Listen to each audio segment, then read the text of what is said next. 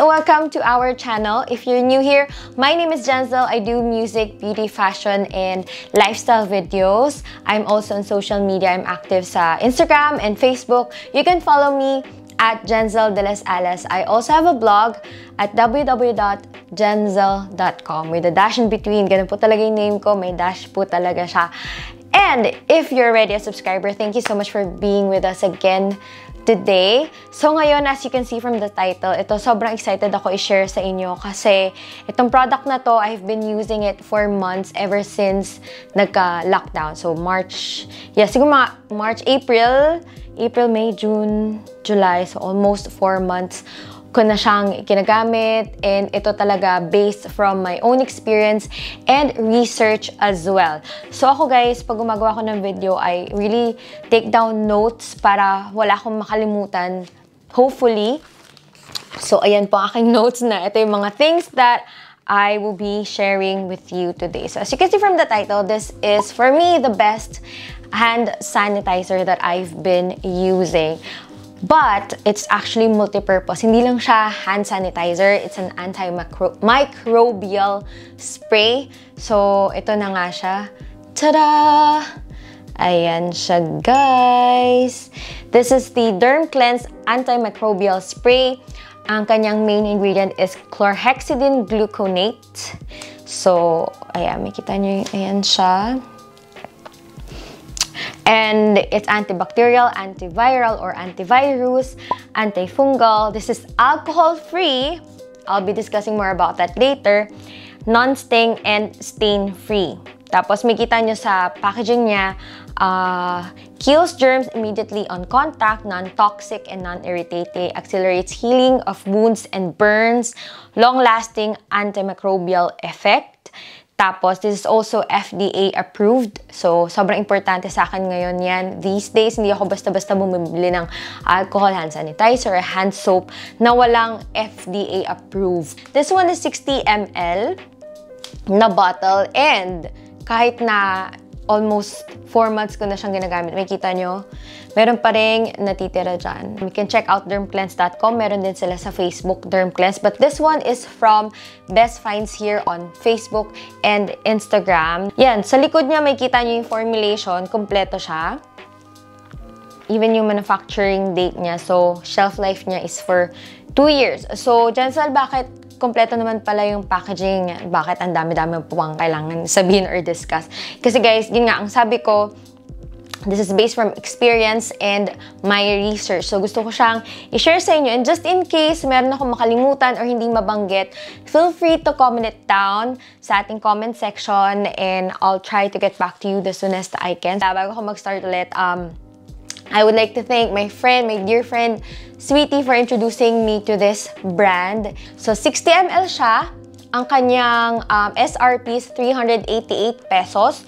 Pero sa Best Finds here, naka-promo siya um, 10% off almost kasi 350 pesos lang to sa kanila. Limited stocks lang. Meron siyang 0.2% solution ng chlorhexidine gluconate which is the safe level para gamitan natin for antiseptic, disinfectant, and hand sanitizer. Tapos, this one is a disinfectant and antiseptic and used for skin disinfection before surgery by doctors, guys, ha, sterilizing surgical instruments and hands of patients and healthcare providers. Ito, sobrang helpful niya sa ating mga frontliners and healthcare workers. If you will Google chlorhexidine gluconate, marami kayo may kita, but these are the Uh, these are the things that for me is very important to mention dito sa ating video. Number one, it, it kills bacteria as rapidly as alcohol but stays longer for 6 to 8 hours because it binds to the skin. For me, yun yung um, selling factor niya. For one spray, guys, nagsistay siya for an hour. So imagine like four sprays, it will stay sa hand mo. It will keep your hands protected for about 4 hours. So, ganun siya continuous protection siya. Kaya, sobrang sold out ako dito. Dun pa lang sa part na yon na long-lasting effect siya, which means, pag nispray ko siya, ma-absorb siya ng hand ko, kahit humawak ako sa marumi, it will continuously kill the bacteria na nasa kamay mo, o ba? Bongga siya yun yung talagang number one na nakapagpa-sold out dito sa sa product na. Second, favorite ko sa kanya, it's, it's moisturizing properties kasi it actually boosts collagen production sa ating skin. Ito guys, binigyan ko si Christine nito kasi siya yung isa sa akin mga friend na nurse. Tapos nakita ko kasi nag-post siya sa story niya na kaka-alcohol niya, kakahugas niya ng kamay niya, nagbalat-balat na yung um, hands niya. Oh my gosh, nakakawa si Christine. So, pinadalhan ko siya neto. And, yun, nagustuhan niya kasi nga nakaka-moisturize siya. Kahit spray ka ng spray, hindi siya nakaka-irritate sa skin. Which is, again, um, yun yung downside ng alcohol. Kapag continuous ka, spray ng spray ng alcohol, mararamdaman nyo naman yan na nagdadry yung inyong balat. Tapos yung iba, lalo na pag sensitive yung skin nyo, nai-irritate talaga siya. Yung iba nagsusugat talaga yung hand. One is alcohol-free, again, antibacterial, antifungal, antivirus, kills 99.9% of germs. So, Um, papakita ko na lang din dito sa screen na guys, yes, um, nag-conduct sila ng tests and proven guys na dun sa test na yon that it kills 99.9% of germs. And ang maganda pa dyan, yung continuous protection niya. Even after 30 seconds, like, yun nga, um, one sprays an hour, continuous siya na pumapatay ng bacteria. O, ba diba? Sobrang winner talaga siya. Cumulative effect, so the more you apply, the more potent nagiging yung protection niya sa iyong kamay. And then, anti-inflammatory. Tapos, hindi na siya flammable, unlike yung alcohol nga.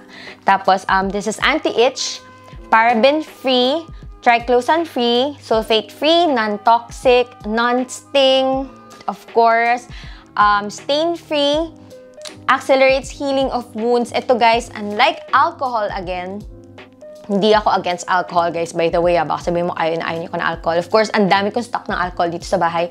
Um, ginagamit ko siya in different purposes. Pero, for me, pang hand sanitizer, this one is better talaga.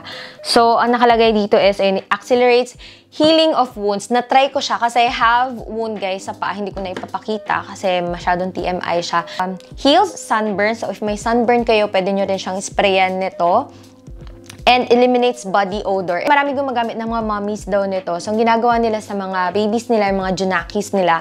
So, bago maglaro pagkaligo, ini-sprayan nila nito sa katawan. Parang ginagawang cologne. Tapos, ang napansin nila, pag uwi ng bahay, hindi ganong amoy araw yung kanilang mga junakis or mga anak nila. Of course, sasabihin mo, 388 pesos, 60 ml. Ang mahal naman yan, Miss Jane. So, gawin natin, let's do the math. Favorite ko ang math nung estudyante ako, pero parang once pa lang ako naging best in math, papakita ko sa inyo na, ayan, nag-compute tayo. Ayan, ating computation. So, yung Derm Cleanse is 60 ml and 388 per bottle siya. So, if lumabas ka, of course, hindi ka naman siguro 8 hours na nasa labas. So, ang kanyang recommended use is reapply every after 4 hours para mas maging potent yung protection ng balat mo. So, sabihin na natin na 8 sprays a day for 8 hours yung kanyang protection. Guys, 8 spray daw nito is equivalent to 1 ml ng product. So, mangyayari is kung 1 ml lang a day yung magagamit mo na derm cleanse pag lumabas ka, is 388 pesos divided by 60 kasi 60 ml siya. Pumapatak na 6.46 pesos siya per day kung aalis ka. So, yung alcohol, sabihin na natin na 70 pesos yung 500 ml niya. Well, I think ngayon nagmahal na siya. So, ang ginawa ko is yung 70 pesos, divide mo siya sa 500 ml, pumapatak na 0.14 cents siya per ml, okay? So, isang ml mo is protected ka or malilinis yung kamay mo for 30 seconds. So, paano natin mapapantayan yung 8-hour protection ng derm cleanse, which is for me impossible. Kasi, which means, kailangan ka mag-reapply ng alcohol every after 30 seconds. And I don't think any person will do that, ba? Diba? Pero just for the computation purposes na lang ano. So, ang isang oras, merong 60 minutes. Sa isang minuto, merong 60 seconds. So, which means sa isang minuto, twice ka magsaspray ng um, alcohol and isang spray, like splash pala, hindi lang isang spray kasi hindi ka naman isang spray na ganyan lang eh, di ba marami. Sabihin natin na 5 sprays or um, 8 sprays also na alcohol. Nangyayari is 0.14 cents kasi isang ml is 14 cents lang, di ba? Times 2 kasi isang minuto siya. Uh, na, na spray is 0.28 cents. Tapos, imumultiply mo siya sa 60 kasi 60 minutes sa isang oras, which is, magiging total niya is 16.80 pesos. Sa isang oras pa lang yun ha, na magiging protected ka. And that is ilang sprays yon So, kung i-weigh mo siya yung protection niya sa alcohol, kung ano talaga ang mas mura guys, mas sulit si Derm Cleanse. Common uses niya, of course, as hand sanitizer. Ito talaga yung hand sanitizer ko. General cleaning, pwede na siyang panglinis kasi pwede siya sa any kind of surfaces. Next is yung wounds, fast healing ng ating mga sugat. Sobrang effective siya. If gusto nyong i uh, as antiseptic sa ating mga sugat. Ngayon, nasugat kayo, syempre kailangan nyo siyang linisin. Sprayan nyo lang siya nito, guys. Tapos, hindi naman siya mahapde or anything, kaya sobrang safe siya na gamitin sa ating mga sugat.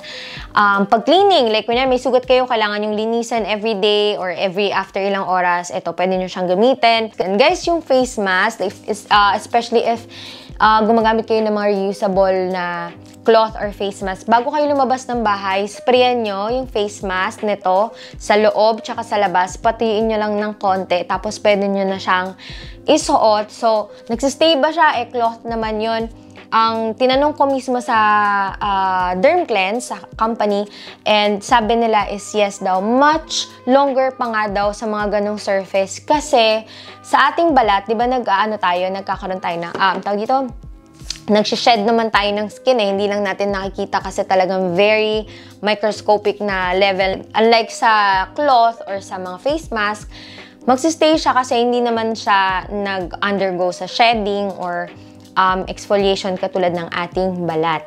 Ang bango niya eh, may floral scent siya pero hindi siya ano siya, um, tawag dito, wala siyang nakalagay na fragrance. I think yun talaga yung amoy niya. So, 1, 2, 3, 4, 5, 6, 7, 8. Ayan. Tapos, igaganyan mo lang siya.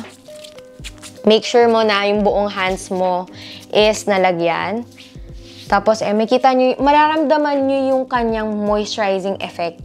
Hindi siya dry pagka-apply. Tapos, ayan, hayaan nyo lang na ma-absorb siya ng ating hands.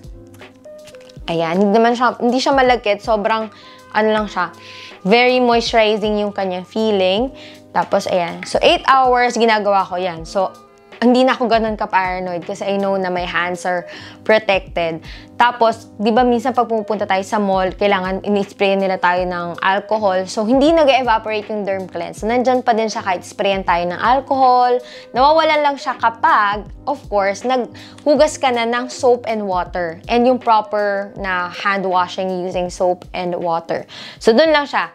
So, mangyari if, kanyari, nag-CR ka, kailangan mo maghugas ng kamay. So, naghugas ka ng kamay, after mo maghugas, you apply this. Um, spray ka uli para protected ulit yung skin mo continuously. Tapos, ang ginagawa ko is after 4 hours, minsan hindi after, like, kunyari, syempre, nag-grocery.